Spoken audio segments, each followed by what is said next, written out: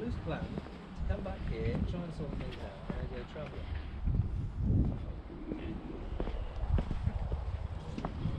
For me, I had no plans plan to. It is something like where, you kind of make a decision what you've and you've a to that